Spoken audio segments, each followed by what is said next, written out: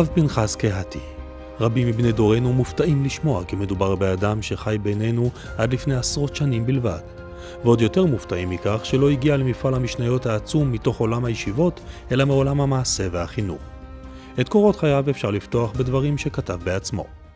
נולדתי ביום ז' באלול תר"ע בכפר הסמוך לעיר רובנה שבוולין.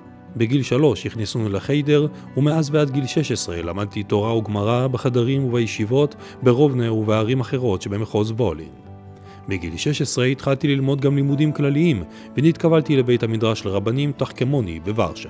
בשנת תרצ"ב גמרתי את חוק הלימודים בתחכמוני וקיבלתי תעודת בגרות בתוספת היתר הוראה. זהו ביתם של הרב אורי וליביה כהן במבשרת ציון.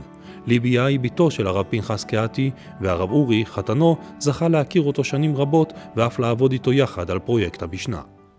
הוא לא השתמש בזה אף פעם, לא הסכים שיקראו לו הרב. עיקר הראש שלו בכלל לא היה שם. הראש שלו היה בתנועת השומר הדתי. ושם הוא היה המרכזי, היה לו גם תפקידים מרכזיים שם בארגון של סניפים ומחוזות. ציון תמתי בשנת תרצ"ו עלה פנחס קהתי לישראל, ושנים לאחר פטירתו נמצאה ברכת הדרך שקיבל מהקהילה בה היה חבר. מי שגילה זאת הוא הנכד, הרב אלישמע כהן, ראש הישיבה הגבוהה בחומש. אחרי שסבא נפטר, נשארו הרבה חוברות של הקונטרסים, וזכיתי לקבל את אחד מהארגזים. היו בפנים סט משניות קטן, שסבא קיבל אותו כשהוא אה, עזב את הקהילה שלו ברובנה. חבר חביב ויקר, בצעדך עלי אדמת הקודש בארץ ישראל, תקרא את ספר התורה הזה בדבקות, בוא תהגה יומם ולילה. כך גם, הלאה, לא תלאם להמשיך את עבודתך הפורייה בהתלהבות ומסירות לטובת רעיוננו, בניין עמנו בארצנו, החלוץ המזרחי ברובנה. שעם המשניות הללו סבא עולה לארץ והופך את המשניות באמת לחלק שכל שורות הנוער עוסקים ובזכותו יכולים לשבת וללמוד את המשניות. בשנה הראשונה שלו בישראל, תרצ"ו, הלך הרב פנחס קהתי ללמוד באוניברסיטה העברית שני מקצועות מאוד מיוחדים, קבלה ומתמטיקה. לאחר תקופה מסוימת החליט לצאת לעבוד ומצא את מקומו בקופת מלווה של הפועל המזרחי. לימים יקראו לזה בשם מוכר יותר, בנק המזרחי. דוב אדלמן עבד לפני שנים רבות לצידו של הרב קהתי בבנק המזרחי. מי שקיבל הלוואה הוא היה רושם ביד מחייב אותו ביד, וכל תשלום שהקופת מילואים קיבל, הוא היה רושם ביד את התשלום הזה.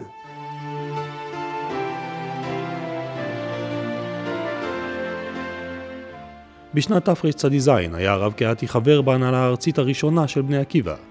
יחד איתו היו ממש דור המייסדים של בני עקיבא, כמו הרב משה צבי נריה ואחרים.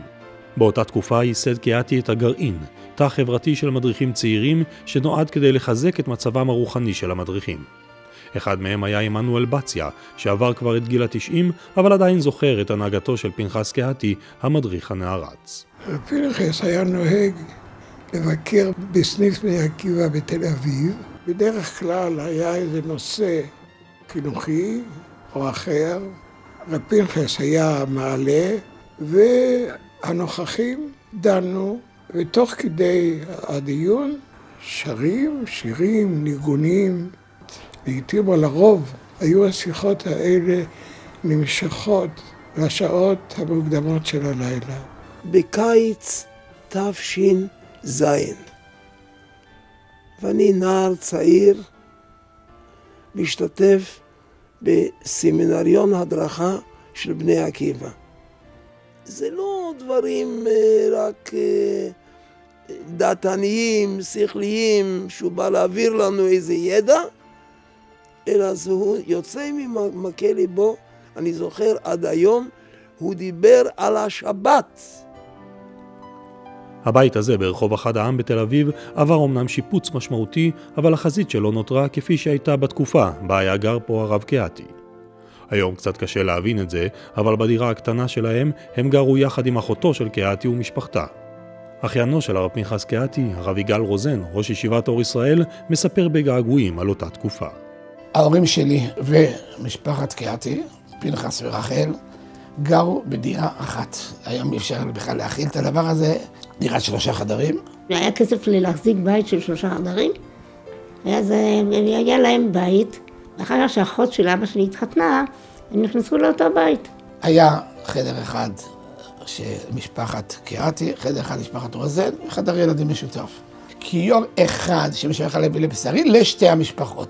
לא היה מעולם, לא היה מחלוקת, לא הייתה מריבה, לא היה שום דבר, הסתדרו בצורה יוצאת מכלל. כילד אולי לא הבנתי שזה חידוש שחיים ככה.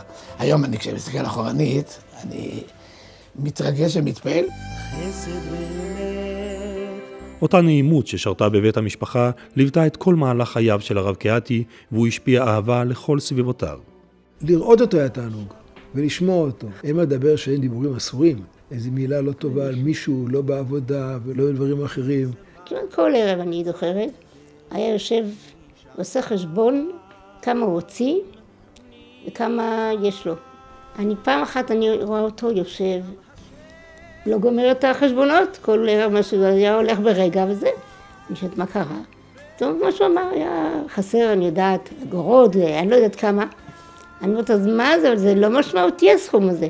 לא, הוא אומר, זה, זה, אבל זאת אומרת שמשהו עשיתי במשך היום, שאני לא זוכר מה. וזה היה אכפת לנו. הנשמה הגדולה של הרב קהתי התבטאה אף בעולם הניגון והשירה. הוא היה בעל תפילה מיוחד במינו והלחין ניגונים רבים שחלקם מוכרים עד היום לציבור הרחב מבלי שיודעים מי הלחין אותם.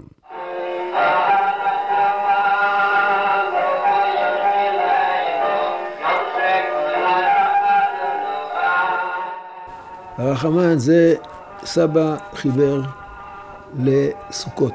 היום העולם חושב שזה מנגינה עממית. לא יודעים שפנחס קהתי הוא המחבר של המנגינה הזאת. משפחתו הענפה אוהבת במיוחד לשיר את צמא נפשי, שאף הגיע למקום הראשון במצעד הפזמונים החסידיים.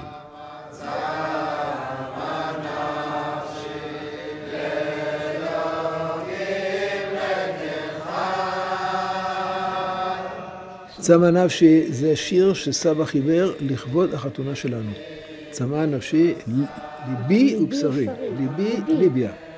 חשת שהנפש מנגנת, הנפש זה לא משהו חיצוני, והניגונים שלו באמת טבועים כולם בצורה המיוחדת שלו. אפשר להכיר מיד, זה ניגון של פרחס קראטי. כשהיה עובר לפני התיבה, אז כל עצמותיי תאמרנה. כלומר, זה לא היה של ציבור שמתפלל ועובר לפני התיבה, אלא זועק ומתרונן וכל הגוף כולו. סבתא הייתה מחכה לו עם חולצה, עם חולצה יבשה, להחליף חולצה. שלא יצא החוצה מבית הכנסת עם החולצה הרטובה. הוא היה נרטב, מרוב התרגשות היה נרטב, הוא היה מזיע ונרטב. קשה להאמין, אבל הפרויקט של המשנה המבוארת התחיל דווקא עם הנוער.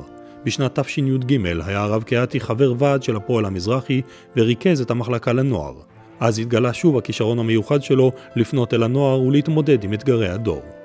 רוב הגדול של הילדים אחרי כיתה ח' הלך לעבוד. לא היה מאז מקומות עבודה דתיים, זה לא היה מאורגן כמו שצריך. ולכן הנוער הזה הלך ברובו לאיבוד. לכן עלה בעתו המשנה. אבל הפירושים הרגילים על המשנה הם לא בשביל הנוער הזה. צריך לתת להם פירוש זורם, שיהיה להם קל ללמוד את המשנה. חיפש מישהו שיכתוב לו פירוש חדש למשנה מתאים לתפקיד הזה. הוא פנה לכמה מגדולי ישראל באותה התקופה, הם היום זקני הדור, וכתבו לו דוגמאות. כל הדוגמאות שהוא קיבל לא מצאו חן בעיניו. הסבתא אמרה לו, אם אתה כל כך יודע בדיוק מה אתה יודע, בדיוק מה שאתה רוצה, תכתוב את זה אתה בעצמך. ואז הוא אומר לה, את יודעת מה? אני אעשה הפוך. אני אכתוב דוגמה, ואני אשלח לתלמידי חכמים, ואת תראי שהם יגידו לי שזה לא שווה כלום. ישב וכתב, ושלח לכמה וכמה אנשים שיכולים לבקר אותו, וכולם היללו ושיבחו את מה שהוא כתב, וברכו אותו שילך ויצליח. איזה זכות היא זאת. כמה תורה הוא הרבה בישראל. הרי זה לא קשה לעלות על הדעת בכלל. כמה תורה הוא הרבה בישראל. כמה המשניות של קהתי זה שם דבר.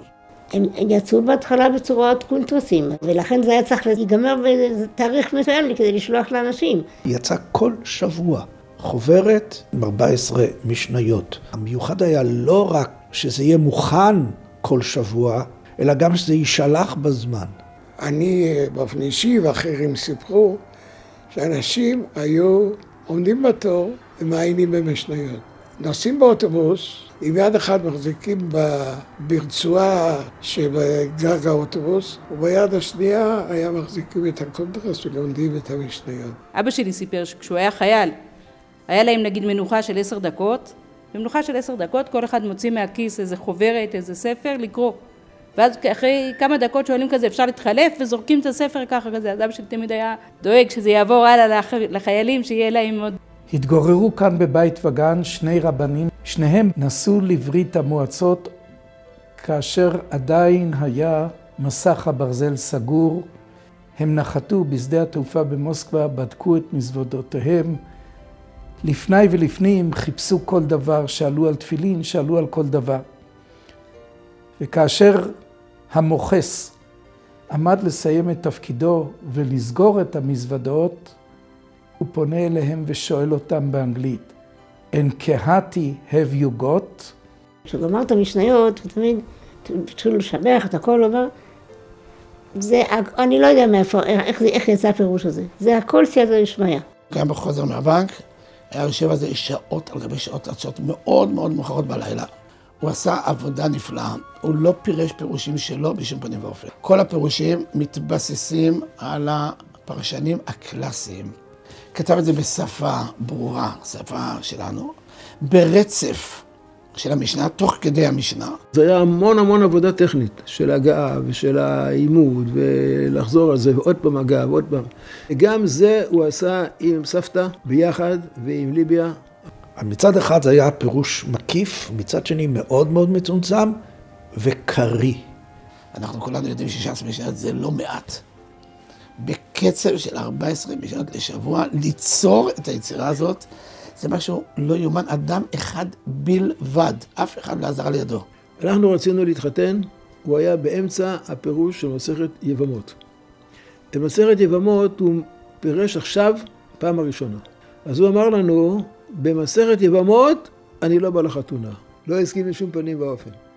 אבל אחרי שאני אבוא לכתובות, כתובות כבר יצא פעם, ואני עכשיו חוזר כתובות פעם שנייה, אז אני יותר רגוע, וכתובות אפשר לעשות חתונה. אז גם התחתנו לפי סדר המשניות. היה לו פנקס, שאת כל המשניות היה לו בראשי המילים. היה לו אות ראשונה של כל מילה.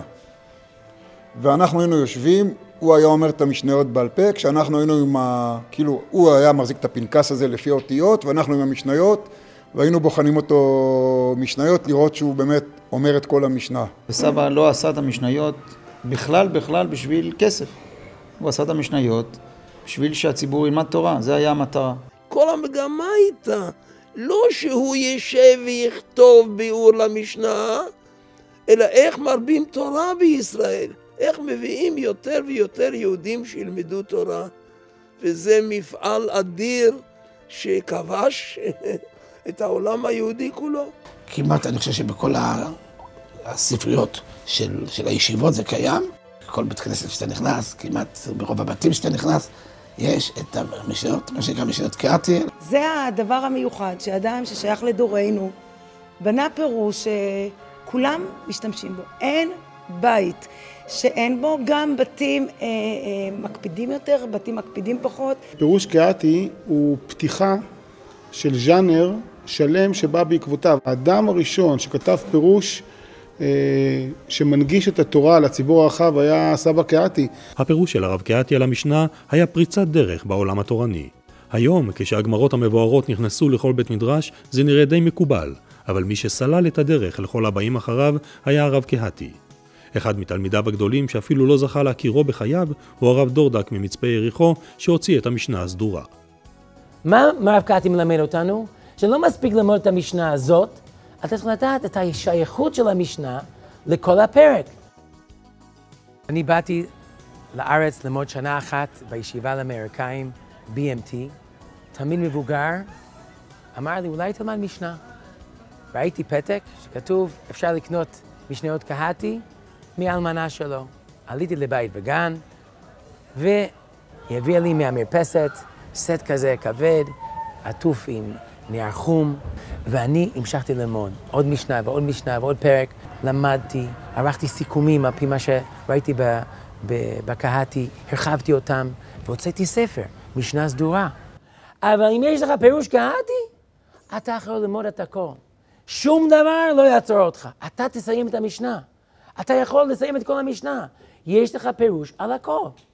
הוא הרגיש שהקדוש ברוך הוא נתן לו שליחות, לכתוב את הפירוש הזה למשנה. והוא גמר את השליחות שלו, זהו. הרב פנחס קהתי נפטר ביום שישי של חג החנוכה בגיל 66, כשהוא משאיר אחריו נכס עצום לדורות, שישה סדרי משנה, מבוארים בלשון קצרה ופשוטה, ונמצאים כמעט בכל בית יהודי. פרויקט בלתי נתפס של אדם שחי כאן איתנו, היה מודל של השילוב האידיאלי בין תורה לעבודה, והפך להיות אחד מנכסי צאן הברזל של העם היהודי לנצח.